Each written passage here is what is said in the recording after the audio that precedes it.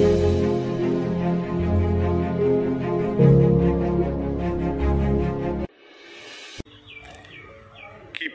நூற்றி எழுபத்தி ஏழு. லயன்ஸ் நகர பேராயர் இரேனியஸ். திரிவு கோட்பாடுகள் என்று சொல்லப்படுகிற உண்மைக்கு புறம்பான பொய்களை கோட்பாடுகளாக உருவாக்கி அந்த பொய்களை பரவ விடுகிற அப்படி அந்த பொய்களை பரவ விட்டு உண்மைக்கு நெருக்கடியை தருகிற கோட்பாடுகள் தான் திரிபு கோட்பாடுகள் என்று அழைக்கப்படுகிறது. எப்பொழுதுமே உண்மையை விடவும் பொய் சத்தமாக பேசும் பொய் வேகமாக பரவும். இது ஒன்றும் உலக வரலாற்றில் புதிதான ஒரு விஷயம் அல்ல. பிரசங்கி ஒன்றாம் அதிகாரம் ஒன்பதாம் வசனத்தில் சொல்லுவது போல புதிது என்பது உலகத்தில் ஏதுமில்லை. அந்த அடிப்படையில் திருச்சபை வளர்ந்து வந்த காலங்களிலே திருச்சபையை ஒட்டி திருச்சபையை சுற்றி பல்வேறு பொய்களும் புனைவுகளும் கட்டுக்கதைகளும் அநேகம் முளைத்தன. வளர்ந்தன. அதிலும் குறிப்பாக கிறிஸ்துவில் மீட்பை கண்டுகொண்ட மக்களும் கூட அதையும் தாண்டி அறிவுணர்வு சார்ந்து இன்னும் வேற ஏதோ ஒன்று வேண்டும் என்கிற ஒரு தேடல் நிறைந்த காலகட்டம் அந்த காலகட்டம். தொடக்க கால திருச்சபை வளர்ந்து கொண்டு வந்த பொழுது அந்த திருச்சபைக்கு பல்வேறு சவால்கள் இருந்தன. நாம் ஏற்கனவே தொடர்ந்து சிந்தித்து கொண்டு வருகிற ரோம வல்லாதிக்கத்தினுடைய அச்சுறுத்தல்கள் ஒரு பக்கம். இன்னொரு பக்கம் இது போன்ற திரிவு கொள்கைகள் திருச்சபையின் விசுவாசத்தோடு நிறைய போராட்டங்களை நடத்தினர் அதில் ஒரு முக்கியமான திரிவு கோட்பாடு தான் நாஸ்டிசம் என்று சொல்லப்படுகிற அறிவு நெறி கோட்பாடு. நாசிஸ் என்றால் நாலேஜ் என்று பொருள். அறிவு முயற்சியினால் மீட்பை எட்டுவது என்கிற இந்த கோட்பாடு. தொடக்க கால திருச்சபைக்கு மிகப்பெரிய சவாலாக இருந்த ஒரு கோட்பாடு. அப்போஸ்தலர் யோவான் தான் எழுதின ஒன்று இரண்டு மூன்று ஆகிய மூன்று கடிதங்களிலும் இந்த திரிபு கோட்பாடுகளை பற்றி நிறைய குறிப்புகளை தருகிறார். அது மட்டுமின்றி இந்த திரிபு கோட்பாடுகளை வன்மையாக கண்டிக்கிறார் சபிக்கிறார். ஆனாலும் இரண்டாம் நூற்றாண்டுகளிலே இந்த திரிபு கோட்பாடுகள் அதிகம் விரவி இருந்தது. இரேனியஸ் என்கிற இவர் இந்த திரிபு கோட்பாடுகளுக்கு எதிராக மிகப்பெரிய கருத்து போராட்டத்தை நிகழ்த்தி காட்டினவர். நாம் கொஞ்சம் அவரை பற்றி தெரிந்து கொள்ள வேண்டும். அவர் கிபி நூற்றி இருபத்தி ஐந்தாவது ஆண்டு மைனர் ஆசியா பகுதியிலே பிறந்தவர். மைனர் ஆசியா என்பது ஒரு வியாபார தளம். அந்த நகர் வணிக ரீதியாக உலகளவில் பல நாடுகளோடு தொடர்பில் இருந்த ஒரு நகர். அந்த மைனர் ஆசியா பகுதியில் லயான்ஸ் என்கிற ஒரு மாகாணம் இருந்தது. அந்த மாகாணத்துக்குள் கால்ஃப் என்கின்ற ஒரு பெருநகரம். அந்த நகரத்துக்குள் ஒரு தீவிரமான திருச்சபை வளர்ந்து கொண்டு வந்தது. அந்த சூழலில் லயான்ஸ் நகரில் இருந்த ஒரு திருச்சபையிலே ஒரு திருச்சபை மூப்பராக சர்ச் எல்டராக பணி செய்தவர் தான் இரேனியஸ் என்கிற இந்த மனிதர். அவர் அவருடைய பெயருக்கு ஏற்றார் போலவே அங்கு தன்னுடைய ஊழியத்தை நிறைவேற்றி வந்தார். இரேனியஸ் என்றால் பீஸ்ஃபுல் என்று பொருள்.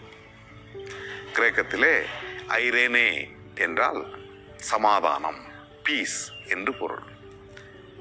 இந்த வேர்ச்சொல்லில் இருந்து வருவதுதான் ஐரிஷ் ஐரின் என்பது போன்ற பெயர் சொற்கள். ஆக அவருடைய பெயருக்கு ஏற்பவே எல்லாரோடும் சமாதானத்தோடும் நல்லுறவோடும் அவருக்கு தரப்பட்ட ஊழியத்தை நிறைவேற்றி வந்தார் இந்த இரேனியஸ் ஒரு முறை அவர் ரோமுக்கு சென்று ரோம பேராயரை சந்திக்கிறார். சந்தித்து லயோன்ஸ் மாகாணத்தில் இருக்கிற மொந்தேனு பகுதி வரைக்கும் திருச்சபையின் எல்லையை விரிவாக்க வேண்டும். திருச்சபையின் பணியாளர்களை நியமிக்க வேண்டும். திருச்சபையின் பொறுப்பாளர்களுக்கு பயிற்சி தர வேண்டும் என்பதை பற்றி விவாதித்துவிட்டு திரும்பி வருகிறார். அப்பொழுது லயோன்ஸ் நகரத்தினுடைய பேராயரை ரோம அரசு கொலை செய்து விடுகிறது. ரோம அரசினுடைய சித்திரவதைகள் அப்பகுதி திருச்சபைகளிலெல்லாம் ஒவ்வொன்றாக மக்களை துன்பத்துக்குட்படுத்தி தலைவர்களை கொலை செய்வது என்பது தொடர்ந்து நடந்து கொண்டிருந்த ஒரு செயல். லயான்ஸ் நகரத்தினுடைய பேராயர் கொலை செய்யப்பட்ட பிறகு அந்த பேராயர் பொறுப்புக்கு இரேனியஸ் நியமிக்கப்படுகிறார். பேராயர் ஆகிறார் இந்த பேராயர் ஆவது என்பது இன்றைக்கு நாம் புரிந்து கொள்ளுகிற அடிப்படையில் அல்ல. இன்றைக்கு ஒருவேளை பேராயர் என்பது ஒரு உயர் பதவியாகவும் ஒரு மிகப்பெரிய அதிகார மையமாகவும் புரிந்து கொள்ளப்பட்டிருக்கிறது. ஆனால் அன்றைக்கு அது அப்படி அல்ல. பவுல் தீமத்தையுக்கு எழுதும் பொழுது ஒன்று தீமத்தையு மூன்றாம் அதிகாரம் ஒன்றாம் வசனத்திலே சொல்லுகிறார் திருச்சபை கண்காணிப்பை விரும்புகிறவன் மேன்மையானதொன்றை விரும்புகிறான்.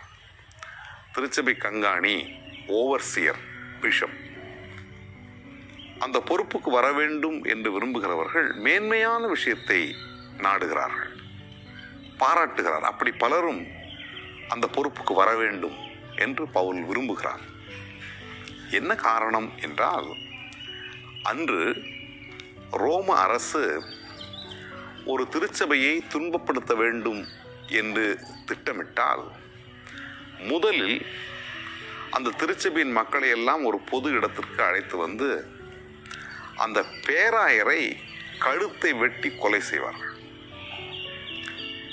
திருச்சபையினுடைய உயர் தலைவரை சிறைச்சேதம் செய்து கொல்லுவார்கள். இதை பார்க்கிற திருச்சபை மக்களுக்கு பயம் வரும் பயம் வர வேண்டும் என்பதற்காக இப்படி செய்தார்கள்.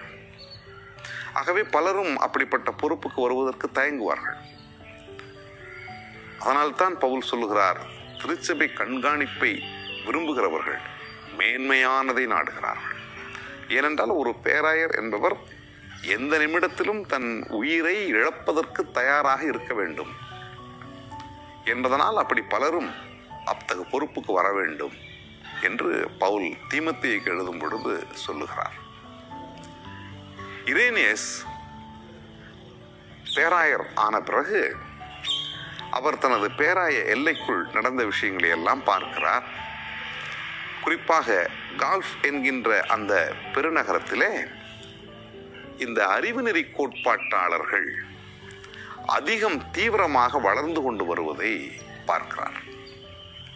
நாளுக்கு நாள் அந்த கூட்டம் பெருகி வருவதை பார்க்கிறார். ஆகவே இரேனியஸ் இந்த அறிவுநெறி கோட்பாட்டாளர்களை எப்படி தடுப்பது அவர்களது வளர்ச்சியை எப்படி தடுத்து நிறுத்துவது என்று யோசிக்கிறார். அறிவுநெறி கோட்பாடு சம்பந்தப்பட்ட நூல்கள் அந்த கோட்பாடு தவறானது என்று தெரிந்தாலும் கூட அது சம்பந்தப்பட்ட நூல்களை எல்லாம் பொறுமையாக வாசிக்கிறார். அந்த நூல்கள் என்னத்தை சொல்லுகிறது?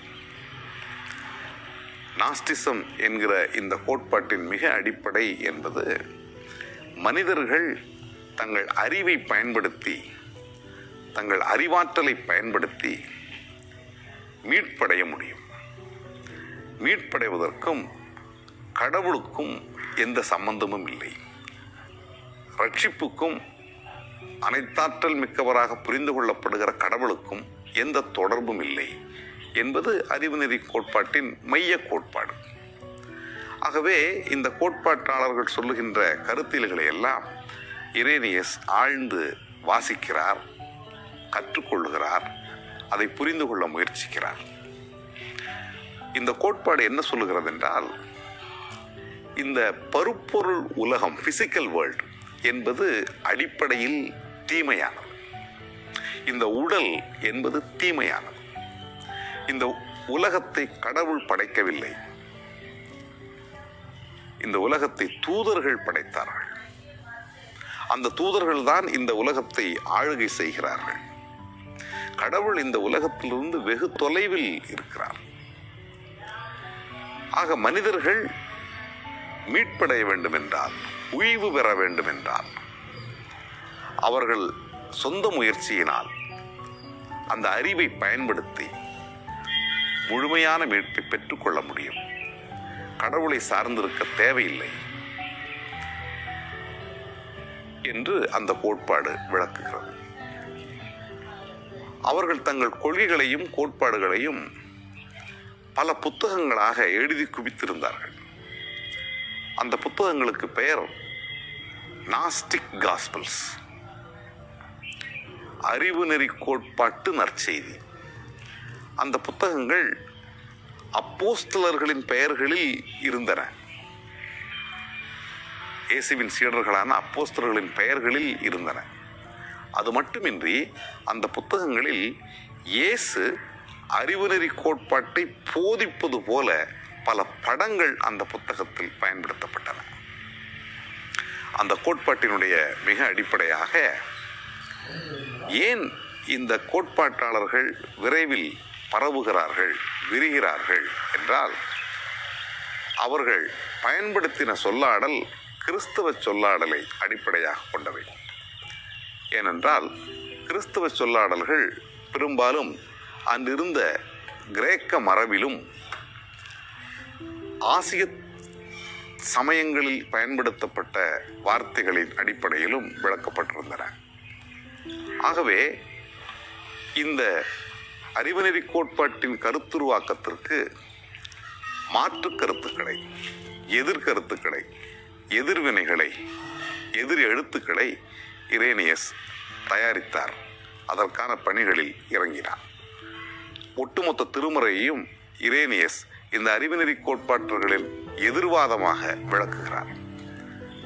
அன்புமிக்க கடவுள் இந்த உலகத்தை படைக்கிறார். இந்த உலகத்தை படைத்த கடவுள் தம் சாயலில் தன்னைப் போலவே நன்மைத்தன்மையோடு மனிதனை படைக்கிறார். ஆனால் மனிதர்கள் இந்த உலக நாட்டத்தின் அடிப்படையிலே அந்த திசையில் கவர்ந்தெடுக்கப்பட்டதால் வீழ்ச்சி அடைந்து விட்டார்கள். ஆதாமை குறிப்பிடுகிறார். ஆதாம் கடவுளின் சாயலில் படைக்கப்பட்டவர்தான். ஆனாலும் இந்த உலகத்தின் நாட்டத்திற்கேற்ப அவர் இசைந்து போனதால் வீழ்ந்து போனார். ஆனால் கடவுள் அவரது வீழ்ச்சியை அப்படியே விட்டுவிடாமல் மானுடத்தின் மீது தொடர்ந்து அக்கறை கொண்டவராக இன்னொரு ஆதாமை அனுப்பினார். இரண்டாம் ஆதாம் புதிய ஆதாம். அதுதான் கிறிஸ்து. கிறிஸ்து வந்து இந்த வீழ்ச்சியை சரி செய்து மீட்டுருவாக்கம் செய்து மீண்டும் ஒரு புது வாழ்வுக்கான மீட்புக்கான ரட்சிப்புக்கான வாசலை திறந்து தந்தார் என்று இரேனியஸ் விளக்குகிறார். இரேனியஸுடைய வாழ்க்கை முழுவதுமே இந்த நாஸ்டிசம் என்று சொல்லப்படுகிற இந்த அறிவுநெறி கோட்பாட்டுக்கு எதிரான மிகப்பெரிய கருத்து போராட்டத்தை செய்த ஒரு நபராக இருந்தார். இரேனியஸ் வாழ்க்கை முழுவதும் அடிக்கடி மகிழ்ச்சியோடு விரும்பி படித்த எழுத்துக்கள் என்பவை நேற்றைக்கு நாம் சிந்தித்த பேராயர் போலிகார்ப்பின் எழுத்துக்கள். போலிகார்ப்புக்கும் அப்போஸ்தலரான யோவானுக்கும் இடையே இருக்கின்ற அந்த உறவை ரசித்து ரசித்து சிந்தித்து பார்த்தவர் இரேனியஸ் திருச்சபையின் நெடிய மரபில் அப்போஸ்தலர்கள் பேராயர்கள் விசுவாச காப்புரையாளர்கள் திருச்சபையின் காப்பாளர்கள் இப்படி தொடர்ந்து வந்த இந்த மரபை மிகவும் மதித்தவர் இரேனியஸ் திருமறையில் எல்லா உண்மைகளும் அடங்கியிருக்கிறது. அந்தந்த தலைமுறைகளுக்கான திருக்காட்சிகளை கடவுளின் உந்துதல் பெற்றவர்கள் விளக்கி சொல்லுவார்கள்.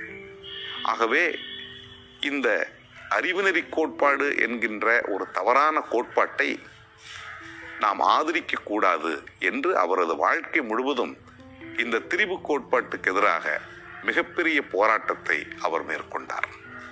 உண்மைக்கு எதிராக வருகின்ற தவறுகளை எதிர்ப்பதும் பொய்களின் முகத்திரைகளை அம்பலப்படுத்துவதும் அவர் ஆற்றின மிகப்பெரிய பணி.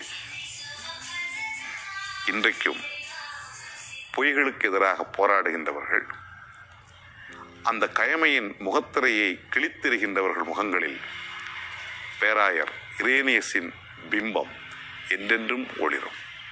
மீண்டும் நாம் நாளை சந்திப்போம்.